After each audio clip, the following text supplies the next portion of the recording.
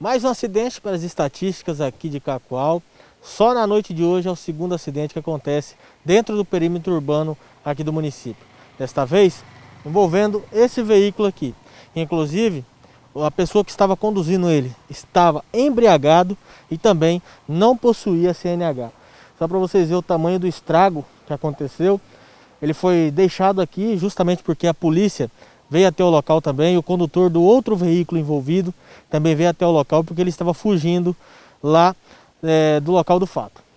O veículo está bem avariado, realmente é uma batida forte, uma colisão forte, e ele foi levado até a delegacia de polícia para prestar depoimento sobre essa situação. Inclusive, é, ele seria submetido a realizar o teste do bafômetro, porém, como o município não tem esse instrumento, ele terá que passar pelo médico legista. É, a gente foi acionado para deslocar até esse acidente. Ao chegar lá, a gente deparou com apenas um dos condutores, um veículo na via, né, porque o outro, após o acidente, evadiu. Ele tentou evadir para esquivar da responsabilidade.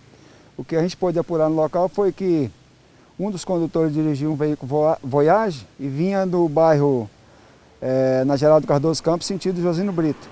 O outro condutor saía do bairro é, Jardim Vitória e ao chegar na via Geraldo Cardoso, ele não parou na placa pare e acabou colidindo na lateral esquerda do veículo Voyage, vindo a danificar totalmente aquele carro.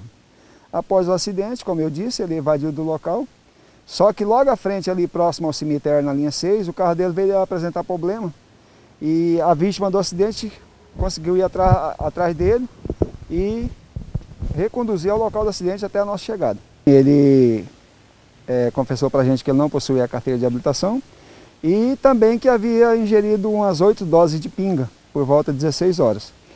Aí a gente fez o termo de constatação e encaminhamos ele aqui para o médico legista para avaliar a capacidade psicomotora, a, se está alterada a ponto de colocar em risco. É, a gente acha que está porque ele já envolveu um acidente de trânsito. Né? Então o médico legista vai constatar se a capacidade psicomotora dele é, geraria um perigo maior na via. A questão do etilômetro, infelizmente, a gente não está tendo aqui no batalhão. É, quando a polícia rodoviária pode dar apoio, eles vêm e a gente acaba nos valendo desse auxílio. Mas, infelizmente, a gente não está tendo esse equipamento aqui na cidade de Cacoal. Aí o que a gente tem que fazer é encaminhar aqui para o legista avaliar é, a real situação do condutor, se está embriagado ou não.